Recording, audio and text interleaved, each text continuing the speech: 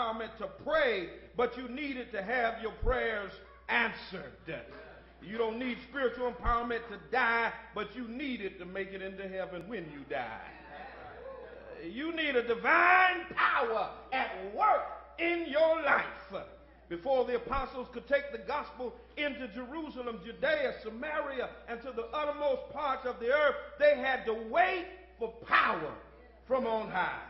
And God knows you need a different kind of empowerment. So in his grace, he makes his power available to us.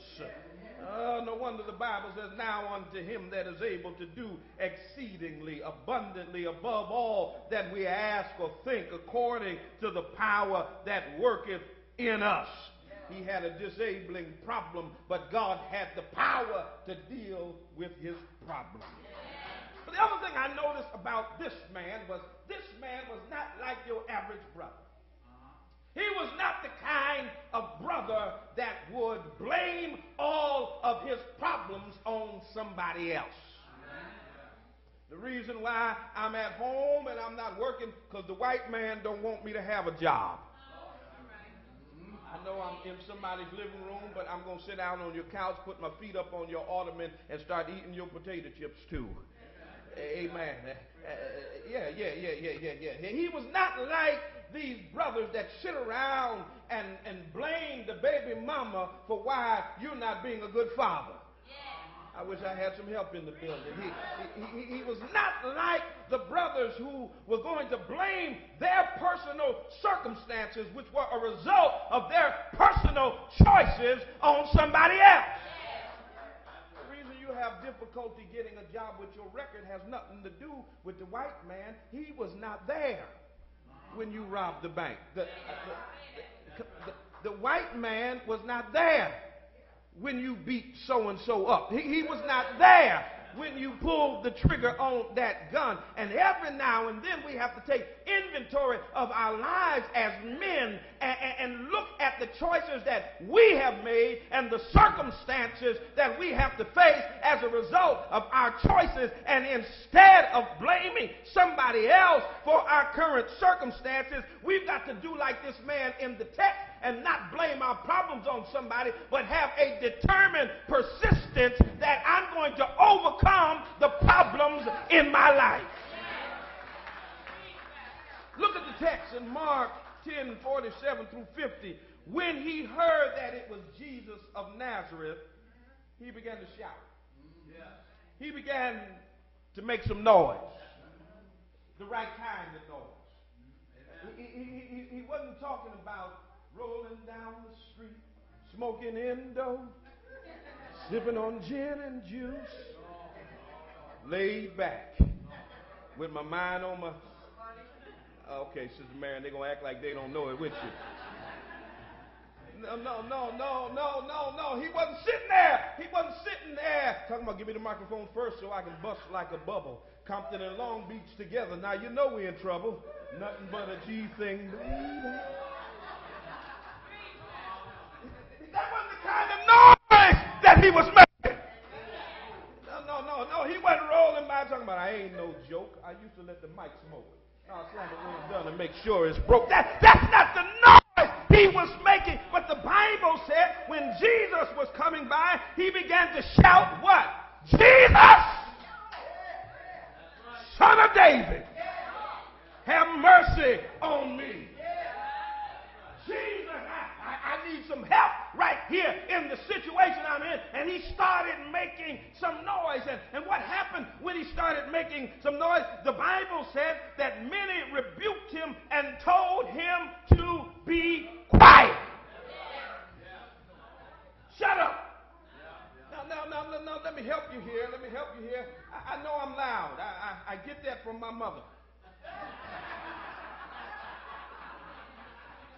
Yeah. I can't help it. It's hereditary. My mama loud. My daddy's loud. My brothers and sisters are loud. I'm just going to be loud. Amen. But, but my problem is when folk come to church and, And, and they say, you know, Brother Swan, it don't take all that yelling and stuff that you be up there doing in church. You, can give a sermon and give your points, and you can be quiet and dignified. Brothers and sisters, I, I'm, I'm loud, but I ain't stupid. Loudness does not connote stupidity. I've been to school. I got two master's degrees. I know a little something, something. I ain't stupid. I'm just loud. But my problem is this. How come when you go to the basketball game and Rose be jumping up and down, yelling and screaming and acting a fool, y'all don't tell them to sit down and be quiet and be dignified. I'm just saying, if Rose can jump up and down and scream for LeBron James, who didn't wake him up, didn't put no food on their table, didn't heal them from nothing, didn't make a way for them, why can't I be loud for my Lord Jesus Christ? So y'all just have to forgive me. I'm going to be loud. And this man started screaming, Jesus, son of David. But when they told him to be quiet, notice what the Bible said. He shouted all the more, Son of David, have mercy on me. And Jesus stopped and said, Call that brother here. So they called the blind man and said, Cheer up, get on your feet. He's calling you. Throwing his cloak aside, he jumped to his feet and came to Jesus. Bartimaeus had a determined persistence that my problem is not going to stop me from getting my blessing. I got a record, but I'm going to be a success. I've got some failures in my past, but I'm still going to make it. I had some trouble back in the day, but I'm still going to be a productive and contributing member of society. He had a determined persistence. And one commentator said Bartimaeus provides an example of one who understood who Jesus was, responded immediately to his call despite discouragement from others, and believed in him and followed him as a disciple. And this is true, but Bartimaeus is also an example of a man with a determined persistence. I didn't get this job, but I'm not going home and laying down till 1 o'clock in the morning. I'm going to hit the streets again at 7 a.m. and look for another one. Because if that one wasn't for me, there's got to be another one for me. And I'm not going to quit until I get my blessing. Drawn to Bartimaeus in large part because he used what he had. He never saw the face of Jesus. He didn't see the master turn the water into wine. He didn't see the Lord feed the 5,000. He didn't see him cleanse the leper or raise the dead or calm the sea. But what Bartimaeus had, he used. It's kind of like the fictional storyline of the daredevil.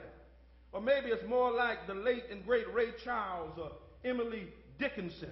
They were people who, in spite of their blindness, they maximized what they had.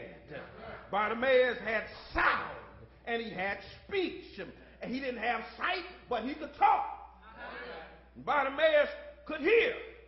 He heard that Jesus was coming by.